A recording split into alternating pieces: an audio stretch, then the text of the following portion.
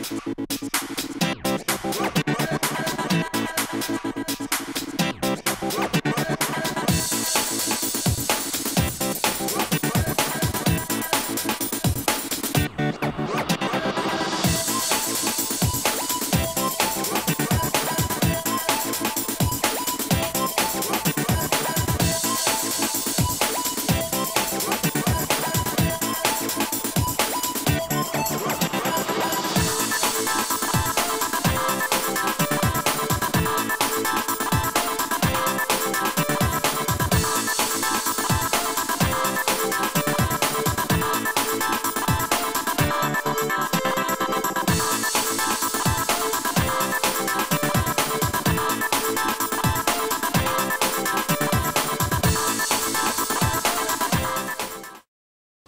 up everybody, Mark's Tarantulas here, how's everybody doing today? So, finally, the big build is now complete. I've been waiting a long time to finally get this build started and yes, it's now complete. So this is my first attempt at actually doing a custom background.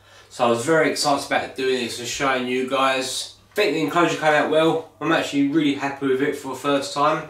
And uh, yeah, I think I'll definitely be doing some more projects like this in the future. So let's not waste some more time. And uh, yeah, this is the big build. The vivarium I am using is an Exo Terra 60 by 45 by 45. I start by cleaning the tank with an alcohol based cleaning solution that could compromise anything from sticking to the glass. Next is to drill a hole for the fogging unit tube. Here I'm using a diamond tip drill piece. It's always best to make a template so you don't slip on the glass and scratch it. Spray with water and drill. I then installed the tube. I siliconed rubber washers either side and worked out roughly where I wanted the tube to run.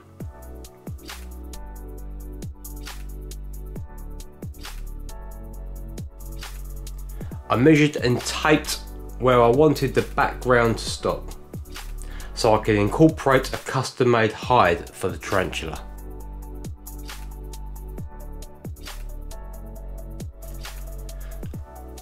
I placed random cork bark onto the back first.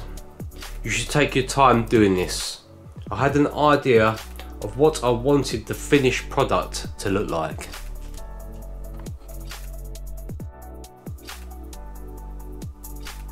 Once everything was in, I used waterproof foam filler to hold everything in place.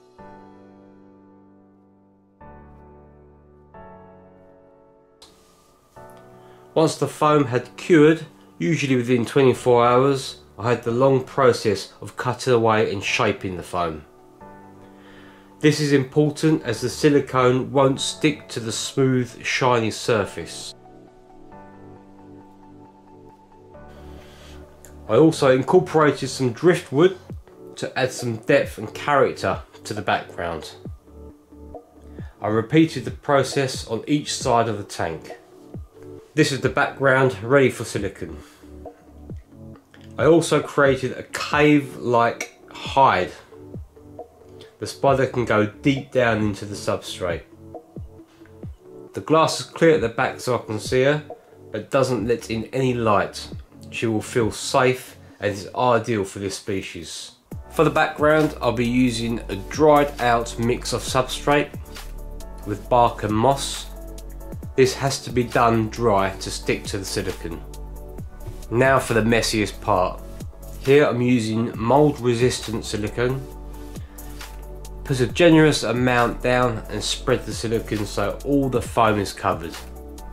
Definitely wear rubber gloves for this as it is a nightmare to wash off.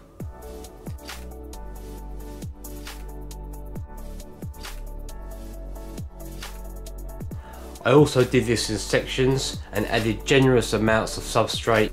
Leave this for about 20 minutes or so. I let the silicone cure for about 8 hours and went back to do some finishing touches making sure every bit of foam is covered. Again, this is very time consuming, but will be well worth it in the end if you want a professional finish. Then it was time to add vines. I sourced these ones from the woods. These are placed in boiling water and dried as treatment. I also added vines I made myself. I stuck these down with a strong super glue and covered with substrate.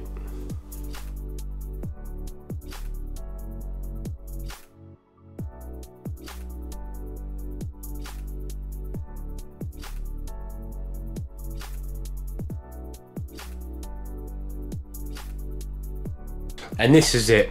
I think the vines add that little bit more to the background.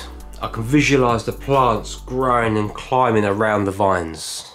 For substrate I'm using earth mix which is packed full of natural minerals and nutrients for the long-term health of the plants.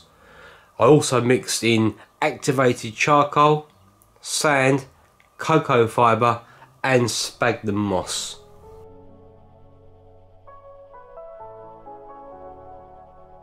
I've picked a variety of plants, lots of climbers which will hopefully in time fill out the enclosure like a dense rainforest. First I add the hydro clay balls for the false bottom which acts as a drainage system it also releases water back into the substrate.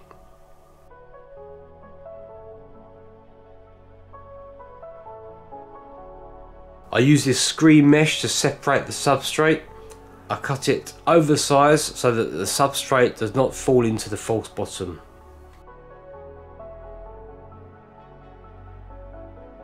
Once I'm happy with the way it fits, I add the main substrate.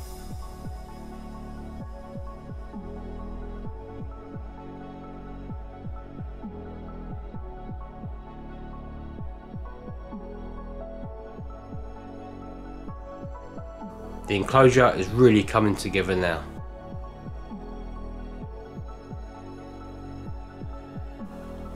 Time to add the plants.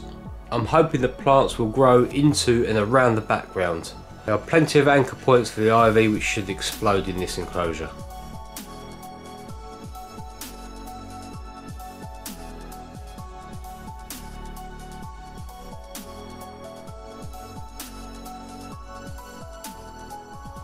This piece of wood is from a dead bonsai tree. I love the way it twirls around, perfect for this devil's ivy, which I carefully wrap around it.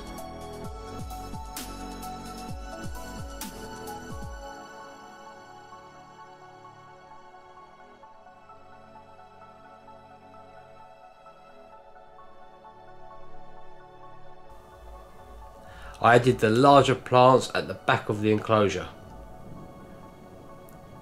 Time to add some colour with this really nice air plant. Air plants can be wedged into gaps as they don't have roots. They get their water by absorbing it through the leaves.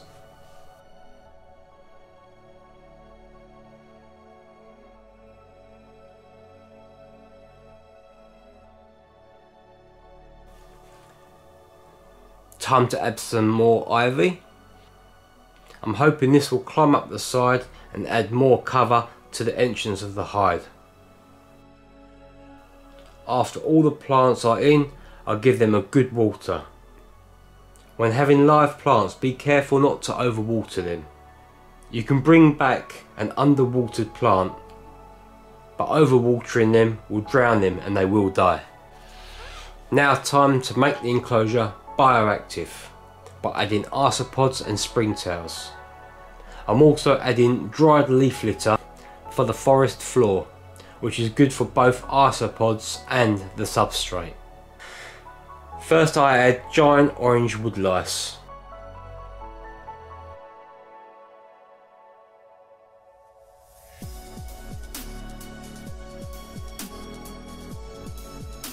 And then the springtails. These are my cleanup crew and what makes the bioactive enclosure.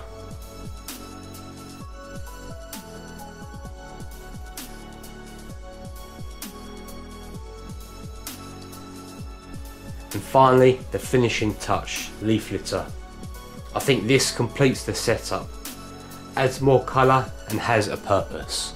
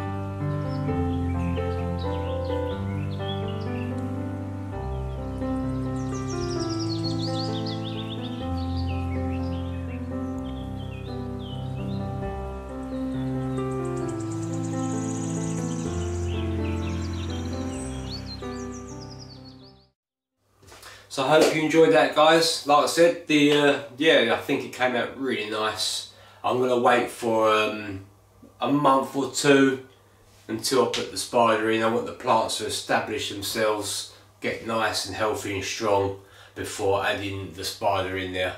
So uh, yeah, I'll be doing a video on the rehousing that one too. Also, just before I go, I'd just like to thank Psydex Francis for becoming a member to Mark's Tarantulas. Thank you so much, uh, Francis. If you'd like to support this channel more, you can also become a member. Alright guys, thank you for watching and I'll see you again soon.